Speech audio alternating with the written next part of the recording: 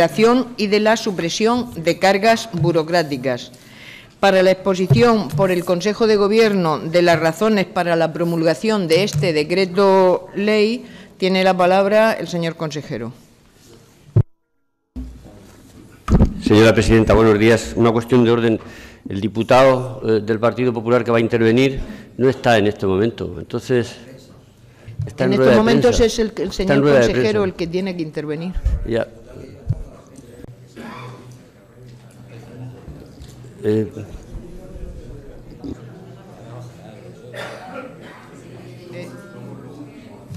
El, el tiempo previsto para la rueda de prensa de cada uno de los grupos es de cinco minutos y en estos momentos lleva 12 minutos. Les ruego que por favor le den un aviso. sí, señorías, Espera. señora presidenta. Señor Coronado, vamos a esperar a que se incorpore el diputado que Muchas lleva- gracias, muchas gracias, señora presidenta. Había iniciado porque se me había comunicado telefónicamente que la rueda había finalizado y preveía que el tiempo que tardaba el diputado sería eso, de dos, tres minutos, tiempo suficiente para escuchar las palabras del consejero, que ahora escuchará con más tranquilidad. Señor Muchas consejero, gracias, señora tiene la palabra.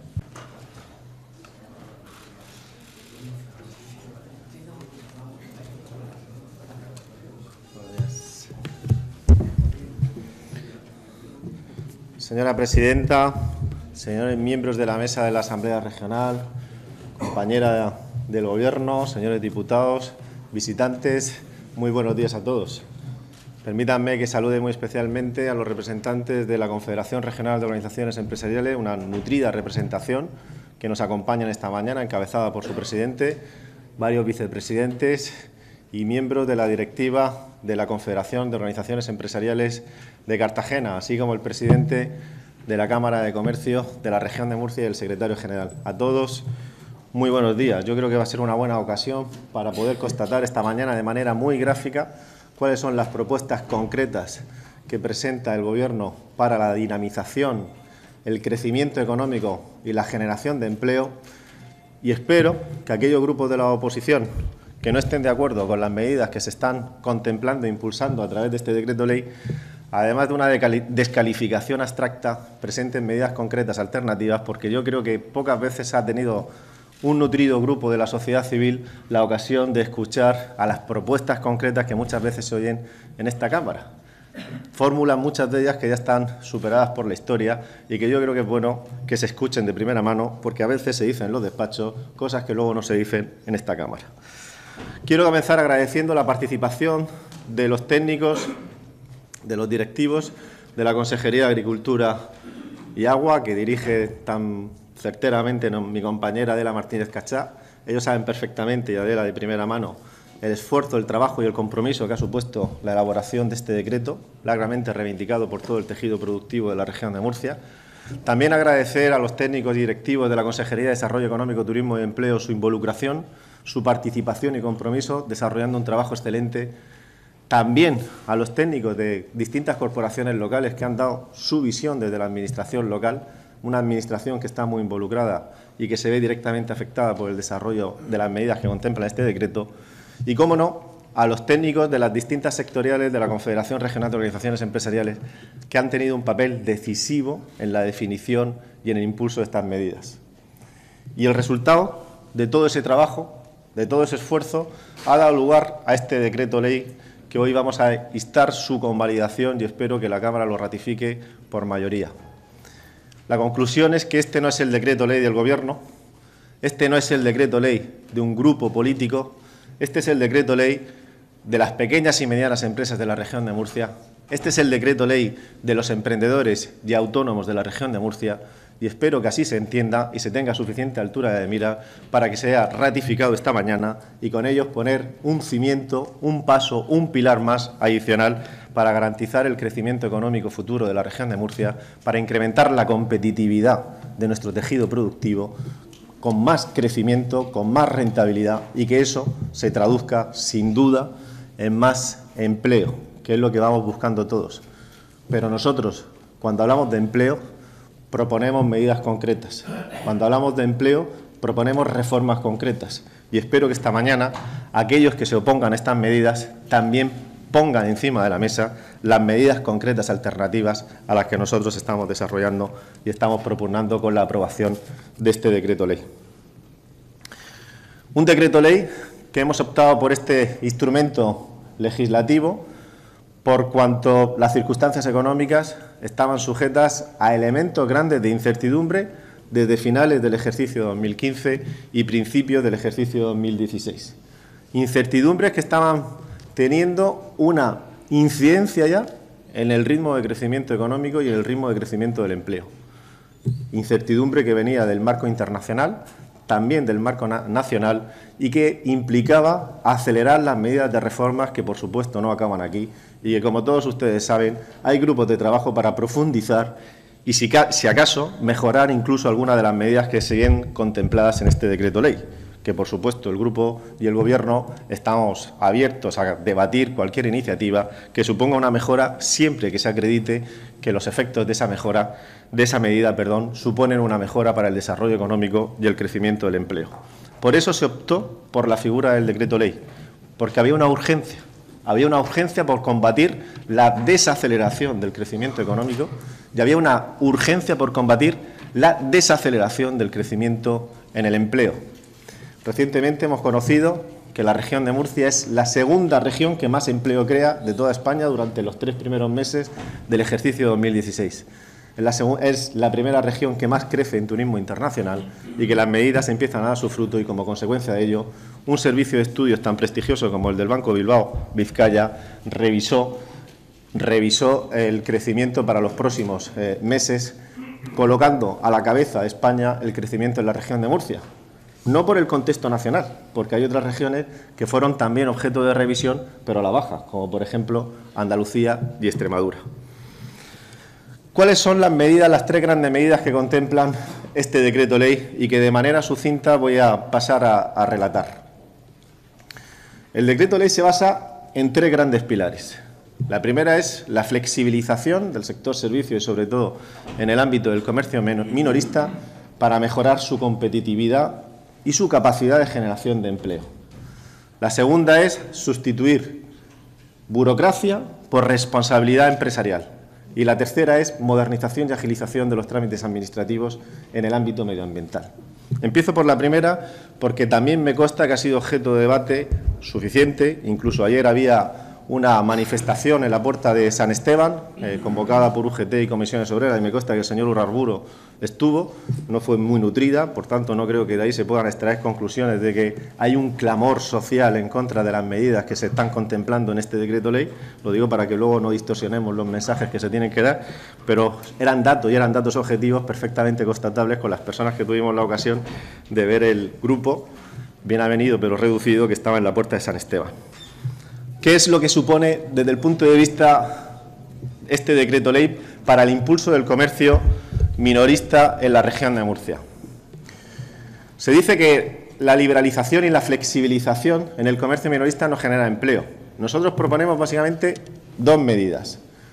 La supresión de eh, horarios, hasta ahora se puede abrir un máximo de apertura en el comercio de 90 horas semanales, y el incremento de festivos de apertura de festivos. Nosotros en este momento podemos aperturar 12 festivos al año y lo que se propone en este decreto ley es que se incremente a 16 festivos. Si analizamos el, CNAE, la seguridad social, vinculándolo con las actividades adscritas al comercio minorista, desde el año 2012, que es cuando se hace la reforma de la flexibilización del comercio, de los horarios, del incremento de festivos por parte nacional y que luego tuvo su traducción y aplicación particular en cada ámbito regional, hay una conclusión que es determinante. Y esto no son opiniones, estos son datos. Porque yo, cuando oigo hablar a mucha gente que se opone a las medidas del, decreto, oigo opiniones, opiniones subjetivas, pero nunca dan datos. ¿Y qué nos dicen esos datos? Pues esos datos nos dicen, la Seguridad Social, que entre el año 2012 y 2015 el 50% del empleo que se ha creado en el comercio minorista en España se ha creado en la, comunidad autónoma de Madrid. Que la primera comunidad autónoma que más ha, crecido en el incremento de empleo adscrito al comercio minorista ha sido las Islas Baleares, seguidas de, Aragón y, en tercer lugar, la región de Murcia con un incremento del 6,6%. En el año 2012 teníamos 100 48.000 personas afiliadas dados de alta a las actividades adscritas al comercio minorista y terminamos el año 2015 con 164. 10.300 personas más trabajando en el comercio minorista, lo que es la población equivalente a Calaspar. Esos son los datos objetivos. Madrid, que es la región que tiene más liberalizado el comercio, 365 días, 24 horas al día, crea el 50% de todo el empleo que se ha creado en el comercio minorista. Islas Baleares, que tenía liberalización plena de horarios y 16 festivos, lo que estamos poniendo nosotros ahora, incrementa la generación de empleo, que por cierto también es la comunidad que más está creciendo económicamente, tiene un incremento de empleo del 10,5%. Si nosotros hubiéramos aplicado el mismo régimen que tiene las Islas Baleares, o que ha tenido o disfrutado las Islas Baleares durante los últimos años, 4.500 murcianos más estaría ahora con empleo. 4.500 murcianos que están en el paro por no haber hecho el impulso de la flexibilización en los términos y como somos autoexigentes, estamos rectificando y estamos proponiendo, proponiendo un cambio que estamos seguros que con los estudios que se están barajando y con las proyecciones de crecimiento económico, estamos seguros que en los próximos cuatro años se van a crear en torno a 11.000 nuevos empleos. Porque lo que estamos hablando esta mañana del decreto no son de prejuicios ideológicos de mayor o menor libertad, sino de generación de empleo. Porque esto, básicamente, se trata de crear empleo. Y este decreto crea empleo para todos los murcianos. En segundo lugar, la gran medida que contempla este decreto ley es sustituir burocracia por responsabilidad empresarial. La supresión con carácter general de las licencias de actividad previa, autorizaciones administrativas previas y, sustituirlas por las declaraciones responsables. A, finales del pasado año, el Banco Mundial hizo, público un informe donde la región de Murcia era el primer informe de esas características porque evaluaba las regiones sobre la facilidad para la inversión y la facilidad para el crecimiento y la, y la creación de empresas y Murcia la verdad es que no salía especialmente bien parada. De hecho, para crear una pequeña y mediana empresa industrial en la región de Murcia, el periodo medio de constitución, de desarrollo e implantación era 245 días, contra otras regiones, como puede ser Galicia, que eran de 68 días.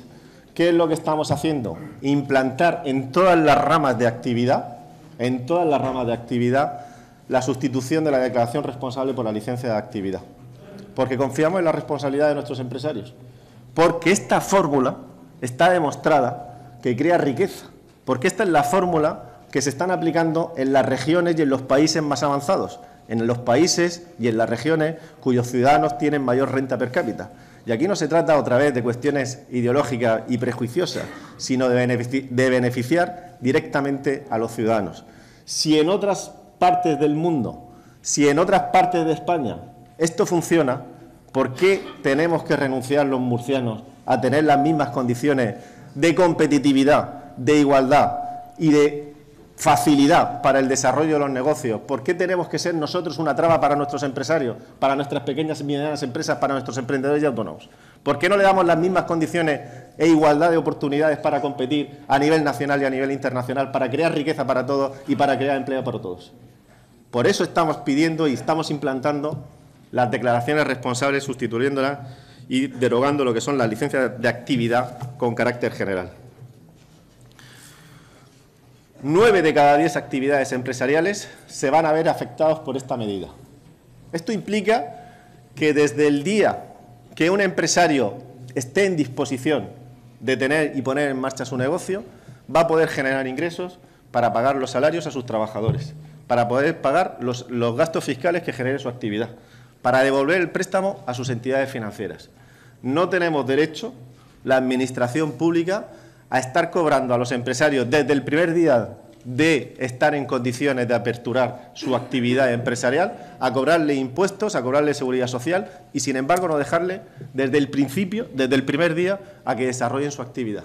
Pues bien, a partir de ahora, los restaurantes, las panaderías, las tintorerías, todo tipo de negocio, los pequeños comercios, todo tipo de, de negocio van a poder trabajar desde el primer día con la declaración responsable, recuperar y amortizar su inversión.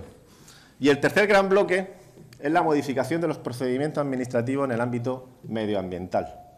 Cualquiera que haya tenido un contacto directo y real con el mundo empresarial se dará cuenta que una cosa es la protección del medio ambiente con la que todos estamos de acuerdo, porque estas medidas no suponen una derogación a la protección del medio ambiente, y sí, quien lo diga, que demuestre en qué medida afecta la derogación o el ámbito de protección medioambiental, sino lo que se pone de relieve es que había disfunciones en el ámbito de la tramitación administrativa ambiental que estaban suponiendo un verdadero atasco para el desarrollo económico. Hay un informe que es muy elocuente de Greenpeace que habla de la calidad medioambiental. Y a nivel nacional sitúa a tres regiones como mayor calidad ambiental, que son Madrid, La Rioja y Navarra. Y son precisamente las regiones que menos normas han promulgado en los últimos años en protección medioambiental. Por tanto, no tenemos que hablar de muchas normas, sino de mejores normas. Y lo que estamos haciendo ahora es mejorar las normas quitar la inseguridad jurídica de la caducidad de los ocho años para las inversiones industriales sin que haya una causa objetiva que modifique las condiciones de concesión de la licencia, garantizar la tramitación en paralelo de las autorizaciones urbanísticas con las autorizaciones medioambientales regionales y, la, autorización por parte de, las corporaciones locales, porque al final estamos desatascando. No estamos quitando ni derogando ni cambiando la protección medioambiental. Eso es mentira. Y quien lo diga lo tendrá que demostrar. Porque en este proyecto, como digo, han participado muchas personas expertas en medio ambiente que han propuesto este tipo de medidas. Protegiendo el medio ambiente, protegiendo el desarrollo allá donde haya que hacerlo, estamos protegiendo el medio ambiente. Lo que hoy se va a votar, básicamente, van a ser dos modelos de concepción y de organización de la sociedad. Por un lado, Estamos los que creemos en la libertad económica, los que creemos en la iniciativa privada, los que creemos que hay que apoyar al pequeño y mediano empresario, al emprendedor, al autónomo, los que creemos que al final la libertad económica siempre trae una mayor calidad de la libertad política y de la libertad, eh, democrática. Y lo que pedimos, puesto que está contrastado y acreditado, que donde se aplican estas medidas sus ciudadanos tienen mayor nivel de vida, sus ciudadanos están con mayor nivel de calidad de vida y, con mayor nivel de renta. Pedimos y exigimos para los murcianos los mismos derechos y los mismos niveles de calidad de vida que para un madrileño y que para un vasco. Por eso pedimos que se convalide este decreto ley. Muchas gracias. Muchas gracias, señor consejero. En el turno general de intervenciones por el Grupo Parlamentario Socialista tiene la palabra el señor Martínez Baños.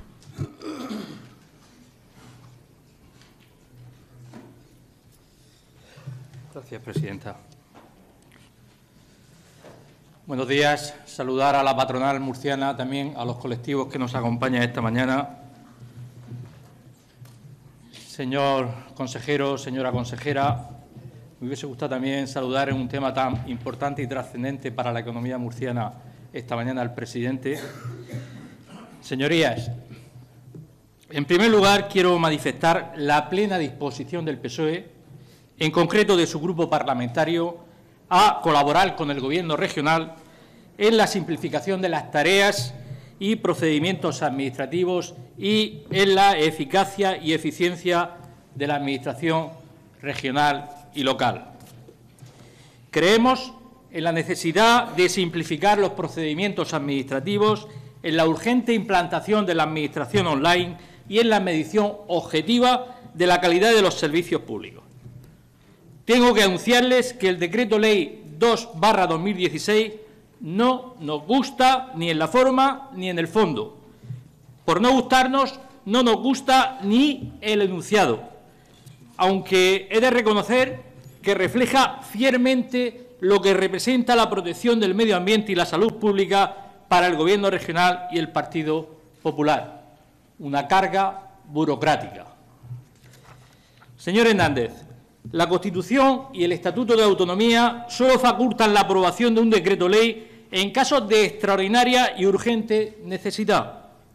Presupuesto que no concurre en este decreto ley, ya que no se puede justificar la urgencia por la necesidad de adaptar la normativa regional a las modificaciones producidas en la normativa estatal en materia de, medio ambiente, ya que esas modificaciones tuvieron lugar en el año 2011 y 2013.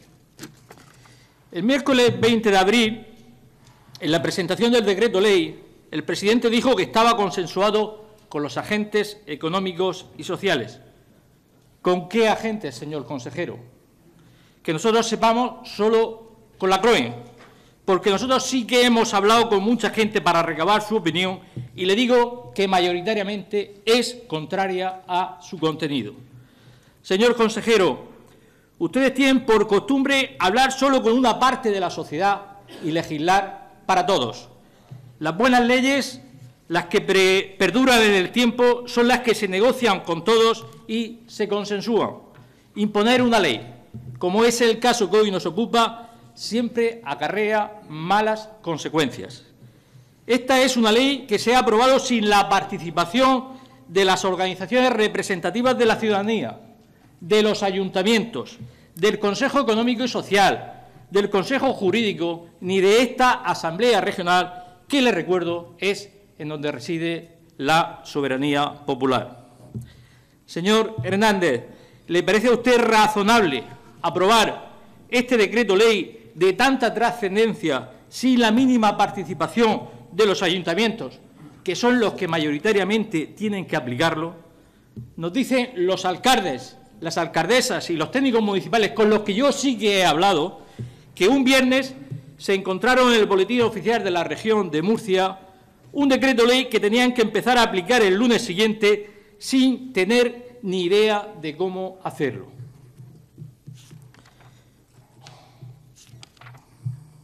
Una vez leí a Paul Krugman, que como saben fue premio Nobel de Economía, que el exceso de regulación es malo para la economía, pero que la falta puede llegar a ser una catástrofe. Señorías, con este decreto ley se pierde el sentido de la precaución e implica una desregulación y falta de control de lo público ante el posible abuso de recursos ambientales. Ya el propio enunciado de la ley da una idea de su objetivo, liberalización y supresión de cargas burocráticas, ni siquiera administrativas, una verdadera declaración histórica de neoliberalismo económico donde se confunde la regulación ambiental con las cargas burocráticas. Es evidente que había que revisar la Ley 4-2009 de protección ambiental integrada, no solo para adecuarla a la legislación estatal, también para evaluar su funcionamiento y analizar los puntos débiles con el objetivo de mejorarla. Es falso afirmar, como ha hecho el consejero, eh, y además lo dice la exposición de motivos, que las medidas que se acometen eh, de corte ambiental suponen una serie de modificaciones puntuales a la normativa vigente. Por cuanto se están modificando nada más y nada menos que 88 artículos de la Ley 4 2009, lo que supone más de la mitad de su articulado, además de modificar una disposición adicional, otra final, añadir una disposición transitoria y modificar sus tres anexos. Señorías, estamos ante una modificación del régimen de protección del medio ambiente sin precedentes en nuestro Estado de Derecho Nunca antes el Estado ni ninguna comunidad autónoma han modificado el régimen general de protección ambiental mediante decreto ley. Señor consejero, estamos de acuerdo en que hay que agilizar trámites y simplificar los procedimientos administrativos, pero con las máximas garantías en la protección del medio ambiente y la salud pública. Ahora voy, consejero, tranquilo. Para hacerlo se necesitan medios y no desregulación normativa. Las demoras, en su mayor parte, no se deben a cargas burocráticas, sino a la falta de medios. Se hizo la Ley 4-2009 sin una memoria económica que permitiera su pleno desarrollo con eficiencia y eficacia. Según el presidente, y usted lo ha ratificado, el 90% de las empresas de la comunidad autónoma solo, solo deberán presentar una declaración responsable para poder iniciar su actividad. Anunció que se redoblarán las inspecciones en las empresas para comprobar que los empresarios cumplen con la ley. Señor consejero, ¿con qué medios? ¿Con qué medios, señor consejero? ¿Sabe lo que dicen los alcaldes, las alcaldesas y los técnicos municipales? Que no disponen de medios para aplicar el decreto ley y que su aprobación les va a acarrear importantes y graves problemas.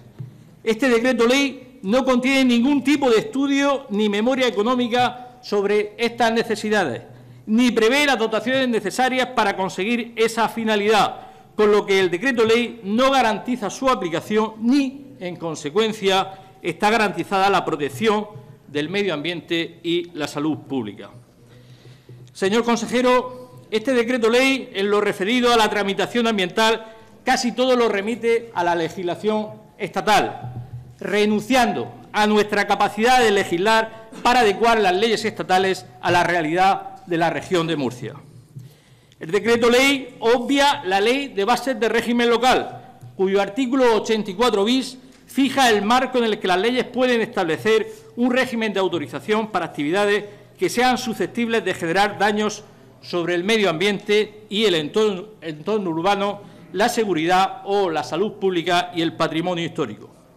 Señorías, ¿les parece a ustedes razonables que una granja de cerdos de cebo de 999 cabezas o una granja de pollos de 7.999 cabezas puedan iniciar su actividad con solo una declaración responsable? Además, elimina el mecanismo de coordinación entre la comunidad autónoma de la región de Murcia y los ayuntamientos a través de la autorización ambiental única. Señorías, no estamos de acuerdo en suprimir la consulta directa a los vecinos en el procedimiento de autorización ambiental integrada. No es verdad que se garantice la participación de los afectados mediante el trámite de información pública. Señor consejero, en cuanto a las medidas para dinamizar el comercio minorista, me remito a las declaraciones de Pedro Fernández Duque, presidente de la patronal del comercio minorista. Dijo que, textualmente, plantear como línea escogida para promover la dinamización del comercio minorista, la liberación de, horarios y la ampliación de, aperturas no termina de convencer a nadie y tampoco a FECOAN como patronal. Termino por donde empecé, ofreciendo toda nuestra colaboración al Gobierno regional en la simplificación y agilización de los procedimientos administrativos. Señor consejero, gobernar no es solo tomar decisiones, sino tomar las mejores decisiones, lo que exige un proceso de participación y debate que garantice su acierto y legalidad. Y esto es más exigible cuanto más importantes son las decisiones que hay que tomar. Como esto no ha ocurrido con este decreto ley, el Grupo Parlamentario Socialista va a votar no a su convalidación y solicitamos que se tramite como proyecto de ley. Muchas gracias. Gracias, señor Martínez Baños. Por el Grupo Parlamentario Podemos tiene la palabra el señor Urralburu Arza. Gracias, señora presidenta. Consejero, consejera, representantes de asociaciones de comerciantes, de sindicatos, de trabajadores del comercio, de asociaciones sociales y medioambientalistas, CROEM, señorías. Hoy nos trae aquí el Gobierno un decreto de ley de medidas urgentes para la reactivación de la actividad empresarial y del empleo a través de la liberalización y de la supresión de las cargas burocráticas. Para nosotros, este decreto ley se tenía que haber llamado Decreto Ley de Medidas Urgentes para la Desregulación de la Actividad Empresarial y de las Condiciones de Trabajo. No suena igual, no significa lo mismo, y es lo que tienen las palabras y el lenguaje, señor consejero. Realmente quieren decir una cosa y hacen otra distinta. Cuando ustedes hablan de liberalización, de lo que están hablando literalmente es de desregulación. Y cuando el Partido Popular pronuncia la palabra libertad, alguien va a terminar encadenado. Fíjense cómo, fíjense cómo cuando reclaman la palabra liberalización de los mercados, liberalización de las finanzas, han conseguido esclavizar a muchísima más, más gente.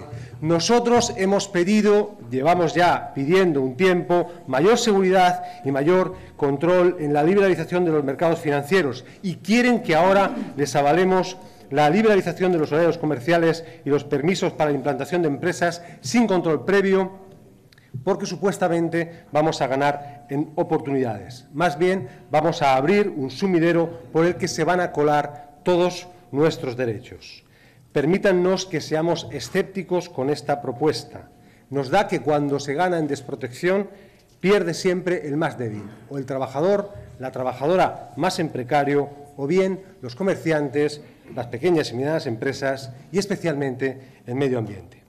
Señorías, decía la semana pasada el director editorial de La Verdad que nadie se puede oponer a un decreto de simplificación administrativa, máxime cuando, y cito textual, generar empleo, busca generar empleo y riqueza sustituyendo muchos trámites burocráticos por una declaración responsable. Es difícil oponerse a una afirmación así. Pero al mismo tiempo reconocía, y esta es la parte fundamental de su reflexión, que la, realidad cultural, administrativa y empresarial de nuestra, de nuestra uh, comunidad autónoma, cito textual, asusta, visto el escaso celo en algunos casos de quienes deben inspeccionar el cumplimiento de la ley y lo secundario y lo relativo que parece esta cuestión para las organizaciones empresariales. Compartimos esta reflexión. Es cierto que en este país la cultura de la prevención regulatoria ha provocado un exceso de normas y de requisitos que ralentizan los procedimientos administrativos y convierten la burocracia en un problema para ejercer los derechos de la ciudadanía. Es cierto, la normativa debe reducirse y debe ser más clara. Las administraciones públicas deben trabajar más y mejor y facilitar las cosas, pero modernizar la administración no es desregular las condiciones de, implantación de empresas. Aún queda muchísimo que hacer. Quiere propuestas. Mejora de la difusión y el acceso a la información, digitalización de los datos, que no tengan que presentar tanta información y tantas veces, mejora de, las operativas de tramitación y, por supuesto, mejora también del personal que está tramitando los expedientes. Lo hemos dicho, Aquí se está diciendo esto y al mismo tiempo se ha liquidado la Dirección General de Medio Ambiente, que es precisamente la que más atasques tiene en materias de expedientes empresariales. Sinceramente, tienen que reconocer que no están mejorando las normas, literalmente las están eliminando. Están eliminando las normas están eliminando toda la política de precaución, de, acreditación y de control en la expedición de licencias.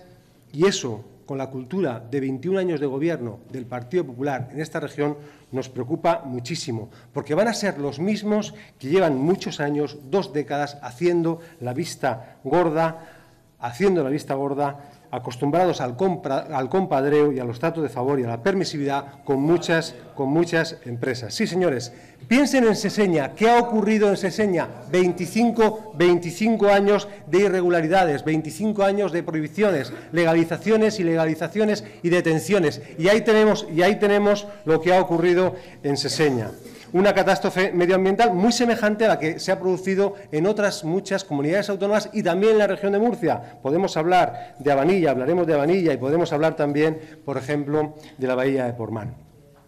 No se puede ser tampoco ambicioso y tener tan baja consideración con nuestro medio ambiente, señor consejero. La legislación básica estatal supone en materia ambiental un mínimo a partir del cual las comunidades autónomas tienen la obligación de desarrollar mecanismos de protección específicamente adecuados a sus características propias y ustedes lo limitan exactamente a la protección estatal. No podemos aceptar que la autorización ambiental integrada tenga carácter indefinido, sin revisión o caducidad, ni nos parece adecuada la eliminación del carácter prescriptivo del informe de compatibilidad urbanística o las autorizaciones, perdón, en las autorizaciones ambientales sectoriales, ni la pérdida de su carácter eh, obstativo y el silencio positivo en la tramitación de la autorización ambiental integrada. Tampoco nos parece que el inicio de la actividad pueda ser previo a la concesión del informe de las entidades colaboradoras de la Administración, ni podemos aceptar la eliminación de la consulta obligatoria a los vecinos. Es una falacia, señor consejero, como se afirma en la exposición de motivos, que las medidas medioambientales sean modificaciones puntuales. Usted lo ha dicho aquí, 88 artículos de la Ley 4-2009, 88 artículos que es más del 50%, además de una disposición adicional, una disposición final, una disposición transitoria y tres anexos eh, de la ley. Pero lo que es más grave, señorías, desde nuestro punto de vista, este decreto viola el principio de precaución, que es el que debe guiar toda política y normativa medioambiental.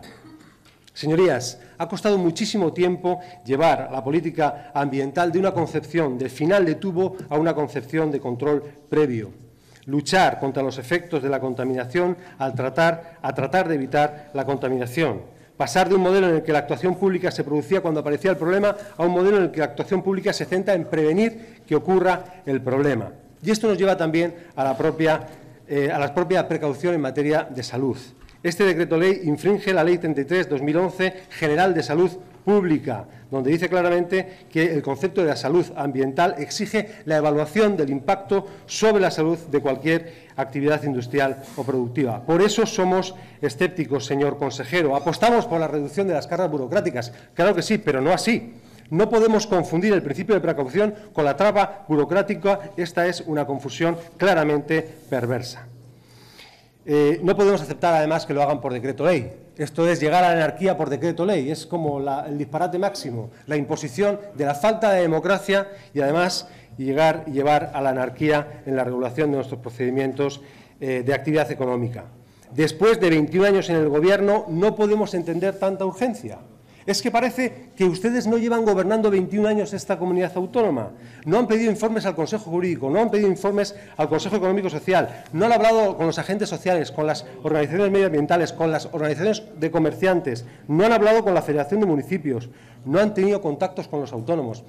Perdone, señor consejero, nosotros hemos visitado durante las últimas semanas a todos estos colectivos y todos nos han dicho que no les gusta, no les gusta el decreto, no les gusta el decreto ley. Así no quieren que se reforme estas cuestiones tan fundamentales. Es verdad que han contado con la CROEM. Es más, la CROEM reconoce que prácticamente ha escrito el decreto ley eh, eh, la patronal. Por tanto, responderá a unos intereses muy concretos, muy claros, que son fáciles de eh, identificar. Decretar por decreto, eh, eh, legislar por decreto ley, señor consejero, es utilizar la excepción como norma. Lleva ya su gobierno, el gobierno del señor Pedro Antonio Sánchez, seis decretos ley en diez meses. Va a superar el récord de Valcárcel. Desde el origen de la crisis económica son demasiados y no es una, no es una materia esta que podamos mm, regular de este modo, por imposición. Por imposición. Con respecto a los horarios, eh, bien, usted ha hecho aquí un juego jocoso sobre cuántos trabajadores y trabajadoras estaban ayer en, la puerta de San Esteban manifestándose en contra, legítimamente en contra de la desregulación de los horarios comerciales. Son 55.000 trabajadores y trabajadoras en esta región. El 18% de ellos tienen contratos indefinidos a tiempo parcial el 34% de ellos temporales a tiempo parcial, esa es la precariedad. Y ustedes quieren ampliar aún más la precariedad y se extrañan de que no vayan a manifestarse en las puertas de eh, San Esteban. Es muy difícil, señor consejero, aceptar este lenguaje. Es muy difícil que nos jueguen con las comparaciones con Navarra, con el País Vasco o incluso con, con Madrid. Termino ya. No vamos a convalidar este decreto ley, señor consejero y vamos a solicitar su tramitación como proposición de ley, porque gobernar es algo más que tomar decisiones por decreto. Gobernar es procurar la socialización de esas decisiones, la democratización de esas decisiones y que esas decisiones sean las más compartidas y las mejores posibles. Queremos un debate público sobre las medidas aquí propuestas, un debate democrático, claro, para que los problemas que reconocemos entre todos y entre todas, y también lo hemos reconocido desde Podemos, problemas de trabas burocráticas, de limitación también en la tramitación de los expedientes, se puedan solucionar, pero no, desde luego, señor consejero, desregulando nuestra normativa y no eliminando la protección a los derechos laborales y a los derechos de las pequeñas y medianas empresas y los derechos medioambientales. Muchas gracias. Gracias, señor Urralburu. Por el Grupo Parlamentario Ciudadanos, Partido de la Ciudadanía, tiene la palabra el señor Fernández Martínez.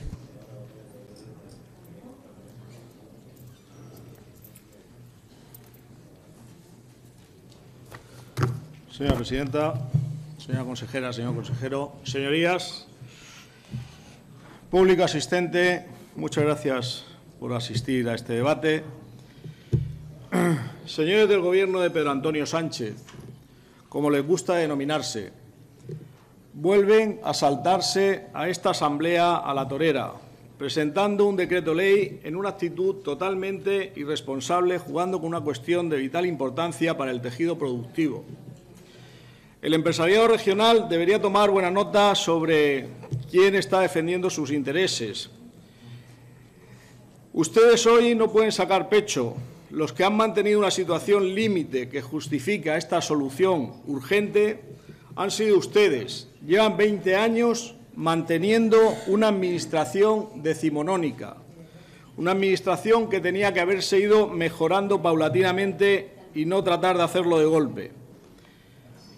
El 20 de abril publicaron este decreto ley volviendo a utilizar la puerta de atrás, ya que solamente han contado con una parte del empresariado, pero no ha tenido más participación, no han contado con los ayuntamientos, ni con el Consejo Jurídico, ni con el CES, ni tan siquiera con su Dirección General de Medio Ambiente. Seguramente no hemos coincidido en las personas con las que nosotros hemos contactado y hemos preguntado, seguramente, porque usted nos acaba de decir que todo esto se había hecho y todo esto se había consensuado. En definitiva, como vienen haciendo, nadie, sí, eh, con nadie han contado.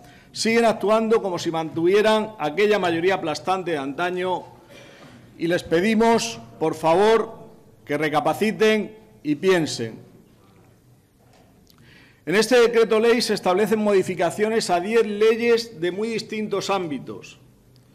Ley del comercio minorista, ley del turismo de la región de Murcia, ley de protección ambiental integrada, ley de industria, eh, normas básicas de seguridad minera, energías renovables y ahorro de eficiencia energética, proyectos estratégicos, simplificación administrativa y evaluación de los servicios públicos, medidas tributarias, simplificación administrativa y en materia de función pública.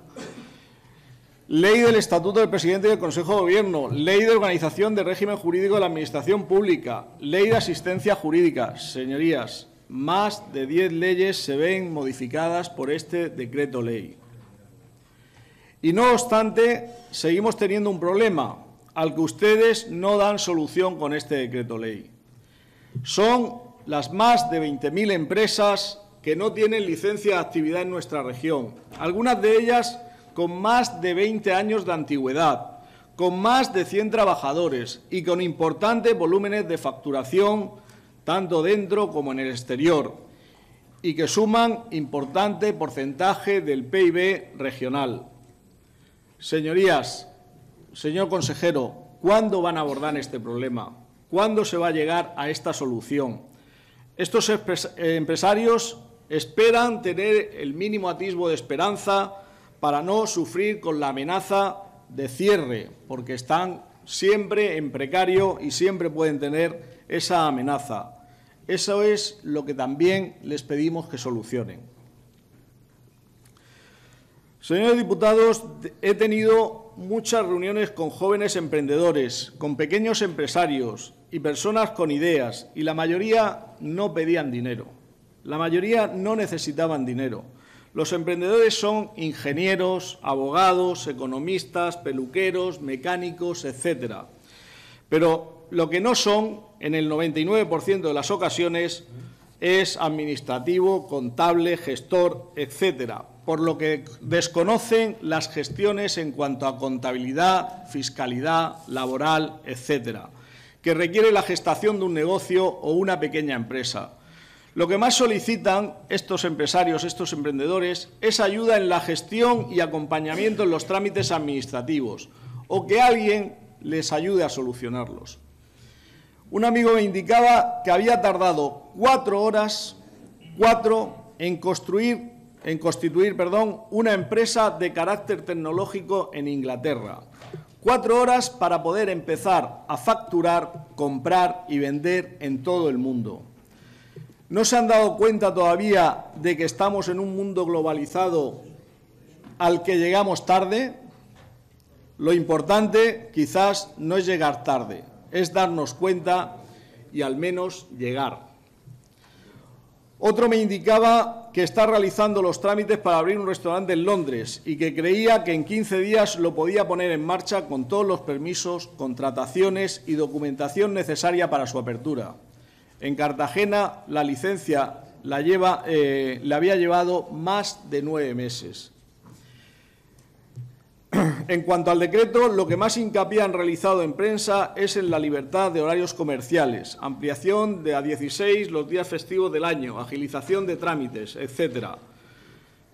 Pero, señorías, lo verdaderamente importante para Ciudadanos es la sustitución de la autorización previa por la notificación responsable de inicio de actividad que debería ir acompañada con todos los proyectos, estudios y documentación necesaria, como si de una licencia se tratara, pero que el empresario eh, dice o indica que la actividad se adecua a lo que se indica en los documentos, correspondiente a la Administración la inspección y verificación de que ello es así.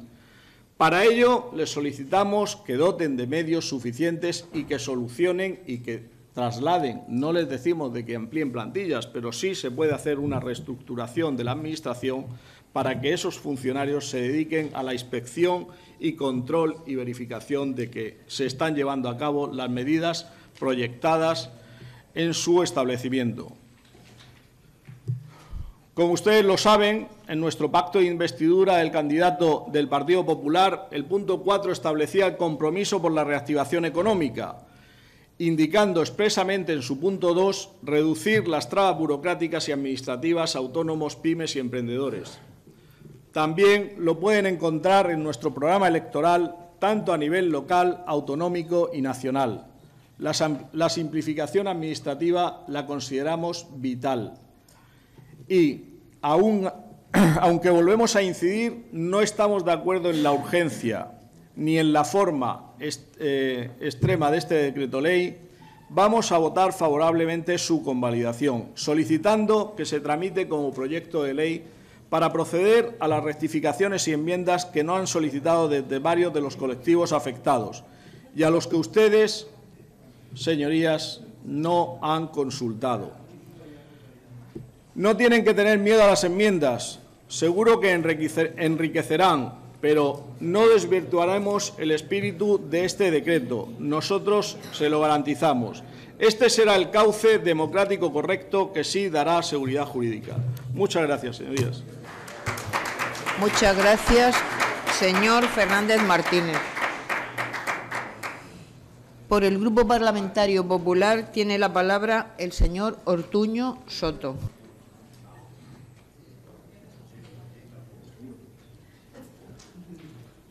Muchas gracias, señora presidenta, colectivos que nos acompañan esta mañana, miembros de CROE.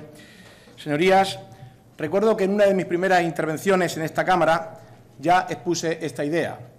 Los ciudadanos nos han puesto aquí para dar voz a sus inquietudes y ayudarles a resolver sus problemas.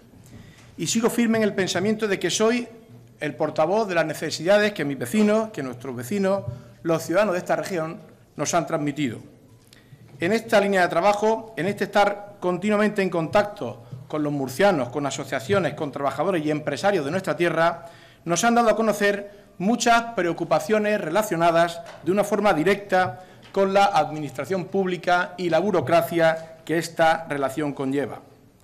Señorías, el decreto ley que hoy presentamos en esta Asamblea es la constatación de que el Gobierno de Pedro Antonio Sánchez avanza sin descanso para lograr que Murcia se convierta en el espacio de mayor libertad económica de la cuenca mediterránea.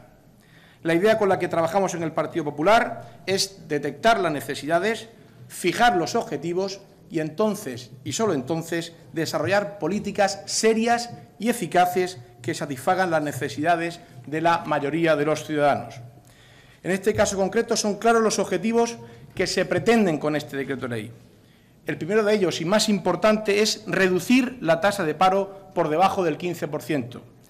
Señorías, a las familias debe llegarle la recuperación en forma de más empleo, de más oportunidades y de menos impuestos. Y en eso se sigue trabajando, como demuestra este decreto ley. Por cierto, unos impuestos que el Gobierno de Pedro Antonio Sánchez ya rebajó desde el minuto uno. Ahí tenemos el ejemplo del impuesto de sucesiones con una bajada del 50% y que será eliminado al final de esta legislatura. Las políticas reformistas del Gobierno de Pedro Antonio Sánchez comienzan también a dar resultados en lo que a la reducción del paro se refiere.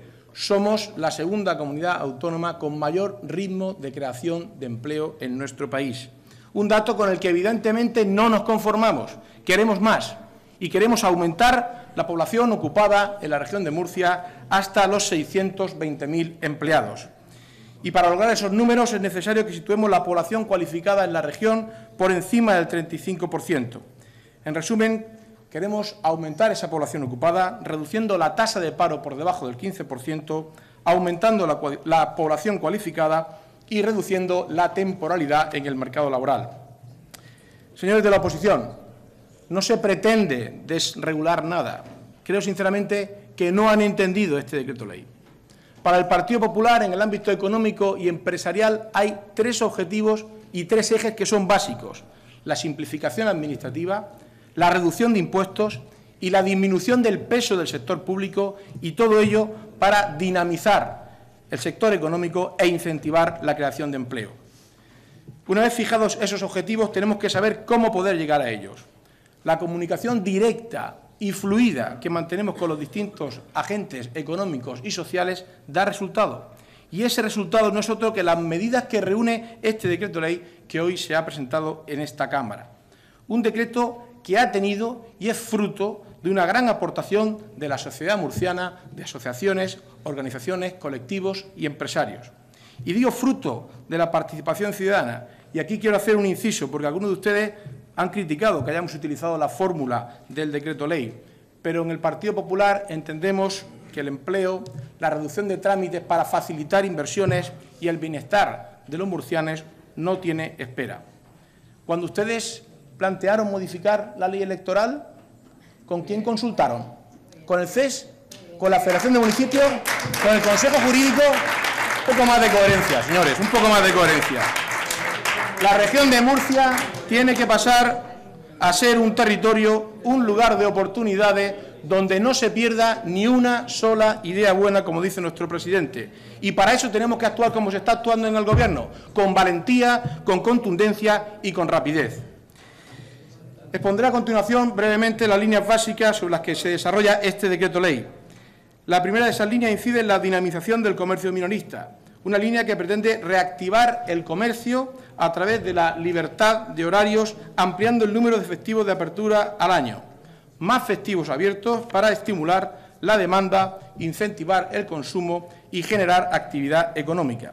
Y aquí no estamos inventando nada, como bien ha explicado el consejero, estamos intentando mejorar lo que ya funciona en otras comunidades autónomas, porque la Comunidad de Madrid es la que más empleo crea en el sector del comercio gracias a la liberalización de horarios. Pero además todas estas medidas, señores de la oposición, van a llevar aparejadas un plan de inspección. Tenemos la necesidad de crear más empleo, pero que ese empleo ha de ser de más calidad y más estable. Y por eso vamos a luchar y vamos a poner todas las medidas de control que sean necesarias. Otra de las novedades de este decreto es que los particulares podrán poner en alquiler sus viviendas como apartamentos turísticos. De esta manera se permite que esos particulares también colaboren en un sector clave, además de poder ayudar a mejorar la calidad de servicios y la promoción de la región. Una de las mayores reclamaciones del sector industrial es la supresión de las trabas burocráticas.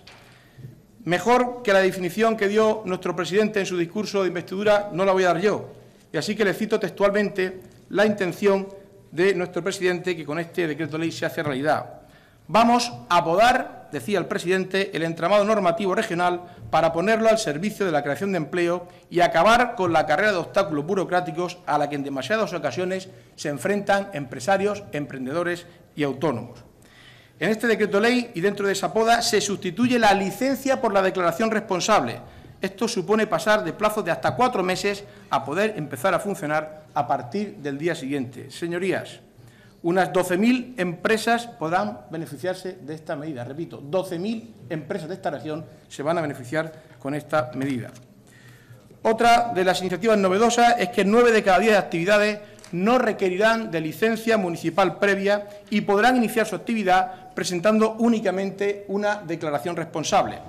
Esto supone, por ejemplo, que una empresa de tapizado de Yecla, que antes necesitaba una licencia previa al funcionamiento de la actividad que podría tardar entre tres y seis meses, ahora podrá ponerse a funcionar con una mera declaración responsable en 24 horas. Señor Fernández, su amigo del restaurante de Londres, aquí en Murcia, con este decreto ley, podría abrirlo al día siguiente. Y me voy a detener brevemente en el apartado de las trabas medioambientales. Tres son los tipos en los que clasificamos a las empresas por su incidencia medioambiental, alta, media y baja. En la primera de ellas simplificamos el procedimiento adaptándolo a la normativa estatal sin añadir ningún requisito más. En cuanto a las actividades con una incidencia ambiental media, se abandona la autorización ambiental única, separando la solicitud de licencia municipal, que vuelve a realizarse directamente ante la Administración local, reduciendo el plazo en torno a seis meses. Y el resto de actividades catalogadas con una incidencia ambiental baja incluirán al 90% del total de las empresas de la región que a partir de ahora solo deberán presentar también una declaración responsable. Es decir, en todas aquellas actividades que no se consideran nocivas o que puedan tener un alto impacto en el medio ambiente o en la salud pública, se sustituye la licencia por la declaración responsable. Señorías, la nueva regulación garantiza la protección ambiental. Luego, señor Martínez Baño, dice que usted ha hablado con no sé quién al respecto. De luego, yo, permítame que al menos lo ponga en duda. Es un decreto, es un decreto en el que sustituimos burocracia por responsabilidad empresarial. Es decir, menos papeles a cambio de más confianza en la responsabilidad del empresario, estableciéndose, por supuesto, los controles a posteriori que sean necesarios. Esto de la declaración responsable es algo que funciona cuando hacemos la declaración de la renta. Si funciona en un ámbito tan delicado y tan sensible, ¿por qué no va a poder funcionar en otros? Señorías, el 80% de los negocios de esta región se van a beneficiar de las medidas de este decreto. Repito, el 80% de los negocios de esta región. Porque, en resumen, les diré que es, este decreto ley es fruto de un gobierno que toma decisiones valientes y reformistas. Este decreto ley es fruto de un gobierno que está dando pasos firmes y decisivos. Este decreto ley es, fruto de un gobierno abierto, que apuesta por la codecisión como una nueva forma de hacer política. Y este decreto ley es el resultado del acuerdo y del diálogo con los agentes económicos y con agentes sociales. Estamos convencidos que además va a marcar un antes y un después y que va a ofrecer mejores medidas y herramientas normativas para crear empleo estable y de calidad en la región de Murcia, convirtiéndonos en un espacio además más atractivo para invertir. Con este decreto ley nuestra comunidad autónoma se convertirá en un espacio de más libertad económica, de más oportunidades y de más empleo. Libertad económica la que defiende el Grupo Parlamentario Popular frente al intervencionismo que al parecer defienden los grupos de la oposición. Señor Urralburu, cuando usted habla de libertad, le recuerdo que solo encadenan en Venezuela, por cierto. Por último, y para finalizar, les pido de verdad, en un último intento, responsabilidad y que respalden sin peros este decreto de simplificación administrativa. Si deciden que se tramite como un proyecto de ley, se crea un escenario de incertidumbre y de inseguridad, porque habrá emprendedores, habrán empresarios que probablemente hasta que no conozcan el texto final de la norma no pongan en marcha sus negocios y sus empresas. Y eso puede suponer un claro parón a los proyectos de inversión empresarial en nuestra región. Desde luego no tiene sentido no tiene sentido que sea el Gobierno del Partido Popular el que elimine trabas y que sean los grupos de la oposición en esta Cámara los que se dediquen a poner pegas. Sinceramente, no hay tiempo Por que favor, perder. vaya terminando, señor señora presidenta. No hay tiempo que perder si queremos aprovechar el carro de la recuperación económica. Muchas gracias. Gracias, señor Ortuño.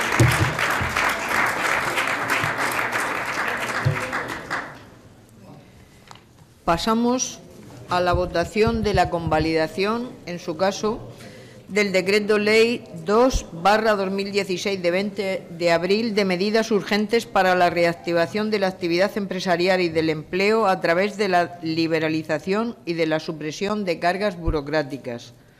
Votos a favor.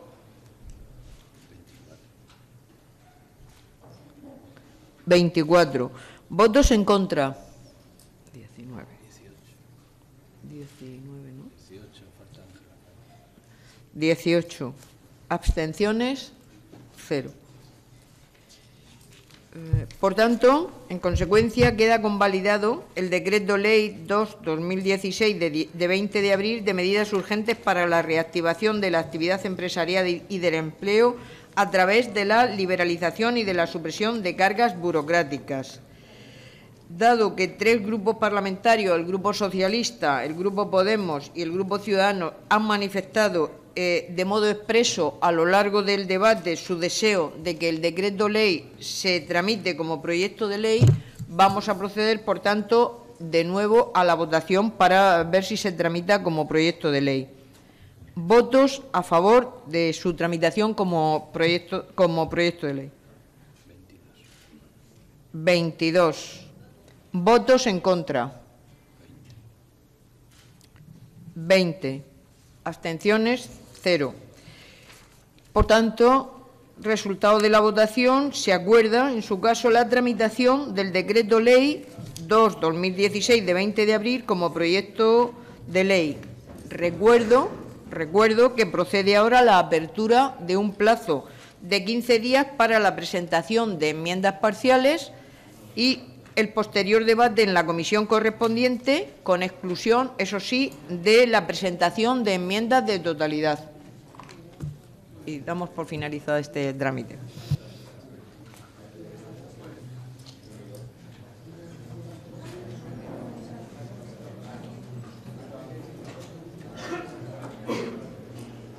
Pasamos al punto 2